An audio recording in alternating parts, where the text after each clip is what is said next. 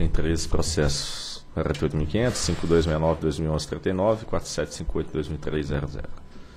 Pedido de reconsideração interposto pela SBS Engenharia e Construções S.A. em face do despacho 2524 de 2012, que sobrestou a análise do projeto da PCH Cabrito até a sentença de primeiro grau na ação civil pública número 9, 1.11.0005018, dígito 5, perante a primeira vara civil de Carazinho. Diretor relator, doutor Julião Coelho.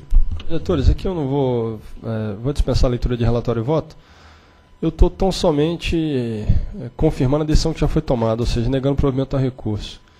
E faço isso porque na ação civil pública que foi movida pelo Ministério Público do Estado do Rio Grande do Sul, requer-se a declaração de nulidade do termo de transferência e cessão de direitos firmado entre a Eletrocar e a SBS. Então, o cenário que estava posto quando nós julgamos isso pela primeira vez, ele não se alterou. E por essa razão eu voto por conhecer do pedido de reconsideração formulado pela SBS Engenharia e Construções SA contra o despacho 2524 e negar-lhe provimento, o que significa manter a decisão da diretoria no sentido de sobrestar o projeto, a análise do projeto básico da PCH Cabrito até que se tenha o julgamento, pelo menos a sentença dessa ação civil pública cujo número já foi apregoado pelo secretário-geral. É o voto. Ok, em discussão. Em votação.